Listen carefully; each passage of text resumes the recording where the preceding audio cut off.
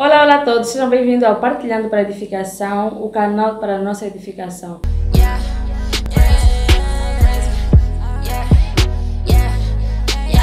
Estamos mais uma vez aqui para fazer o vídeo, o terceiro vídeo da nossa série Palavras de Jesus.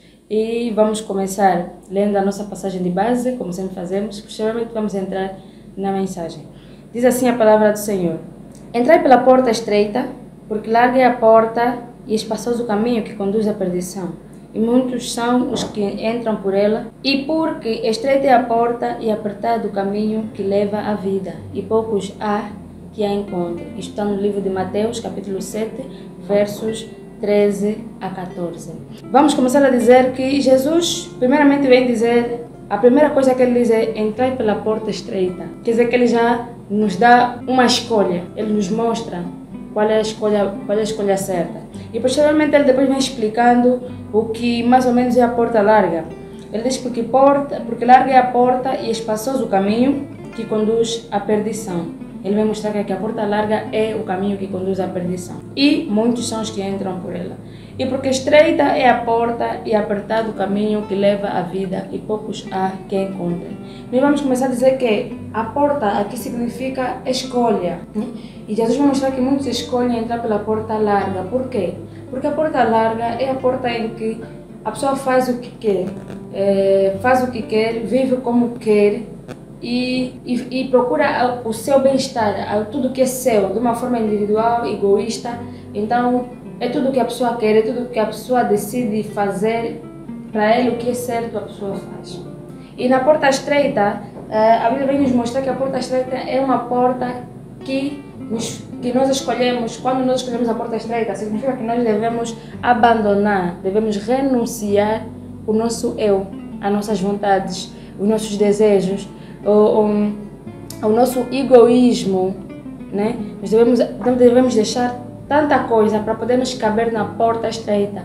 E não só, ah, depois disso ele vem mostrar que, e porque estreita é a porta e apertado o caminho. Quer dizer que depois da porta existe um caminho, e este caminho não só, também é apertado. Quer dizer que ao entrarmos por a porta vamos ter que emagrecer, retirar aquilo que nós, que, que o ego que nós temos, o eu, eu, eu, e passar a ver mais ele.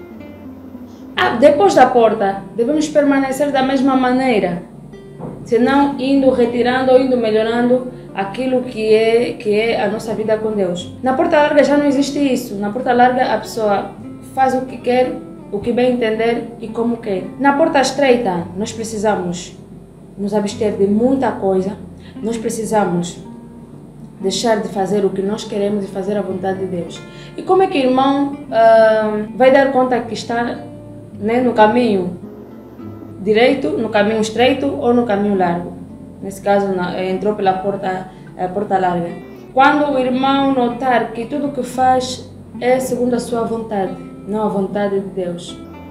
Paulo, no livro de eh, Efésios, Filipenses, desculpa, vem mostrar que, mas o que para mim era ganho, reputei-o perda por Cristo. Paulo vem dizer o quê? O que, o que ele significava um ganho, uma vitória, né? Ele reputou perda, ele considerou aquilo como perda para ele porque ele achou em Jesus algo mais valioso do que aquilo que ele, que ele alcançou, ele mesmo. Outra, outra forma de nós podermos nós podermos é, identificar o nosso estado, porque muitas das vezes a porta estreita e a porta larga é, parecem estar juntos. É, um exemplo, existem pessoas que frequentam as igrejas, mas converteram-se há muito tempo, mas agora vivem uma vida monótona, uma vida, eles vão à igreja, oram, adoram, louvam, mas não deixaram de fazer as suas práticas, não deixaram de viver da forma que eles querem, como bem querem. As decisões que eles tomam não identificam Jesus Cristo em suas vidas. Então significa que o irmão está na porta larga. O fato de pregar, o fato de muitos cantarem louvores, de ouvir louvores, de orar a Deus, não significa que nós estamos na porta estreita. A porta estreita significa escolha. Diariamente nós temos que escolher Cristo. Em, em, em todas as situações devemos escolher tomar as decisões que agradem a Cristo, não a nós. Ainda que pareça difícil, ainda que essas decisões possam nos meter em situações muito difíceis, nós devemos escolher sempre a vontade de Deus segundo a sua palavra. Isso é estar e é caminhar na porta estreita. E o caminhar na porta larga é aquele sentimento que muitos têm. Eu vou à igreja, eu ajudo, eu faço isso, faço aquilo, eu estudo, eu trabalho, eu tenho minhas coisas, consigo minhas coisas, mas verdadeiramente é tudo para a honra e glória dele mesmo. Estas pessoas, se eu, se o meu amado tem estado nessa condição, então muito provavelmente estejamos a caminhar pela porta larga, pelo caminho largo. E isso não é que Jesus quer requer de nós. Jesus veio nos falar aqui no Sermão da Montanha que devemos, o primeiro conselho que ele dá é entrai pela porta estreita. Este é o caminho que Jesus quer para nós. Este é o conselho que Jesus, hoje, nas palavras de Jesus, na nossa série, ele vem nos aconselhar para que possamos seguir, entrar pela porta estreita e caminhar pelo caminho apertado que leva à vida eterna. Então, esta é a tua palavra. Um, espero que tenhamos sido edificados.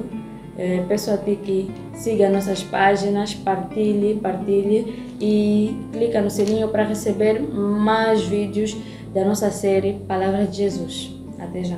Yeah.